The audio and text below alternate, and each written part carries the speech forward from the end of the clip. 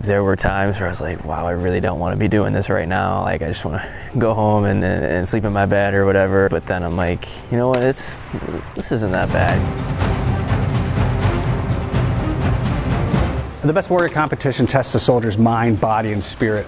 Over two and a half days, our soldiers are tested in six events a three gun shoot, warrior tasks and battle drills, a 12 mile ruck march, land navigation, Army combat fitness test, and a formal interview board.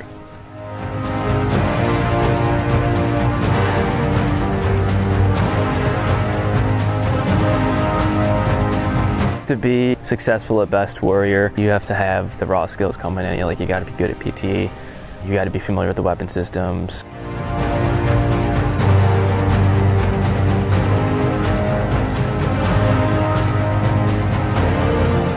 if I'm going to win it, I don't really want it to be because someone else had an off day.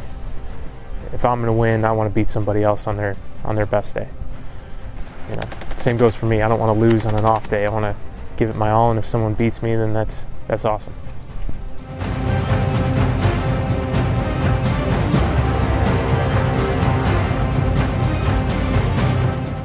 I hope a soldier that competed in this event walks away with a feeling of pride that they did more than most other soldiers that are in the New York National Guard, that they excelled uh, in front of their unit leadership, and that they, they created a sense of confidence in themselves that they're able to do more than they initially thought they could when they arrived.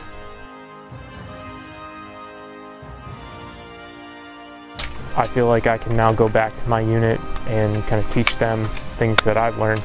Um, all these tasks, there's a multitude of things that they look for, and you're getting goes or no goes overall. And so you can kind of see which boxes you missed and uh, the, the takeaways and the lessons that you learned from there, and you could bring those back to your unit.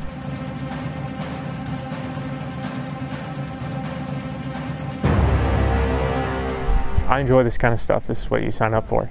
I would prefer to be moving around, rucking, or doing PT rather than sitting down, not doing much, or filling out paperwork. That's for sure.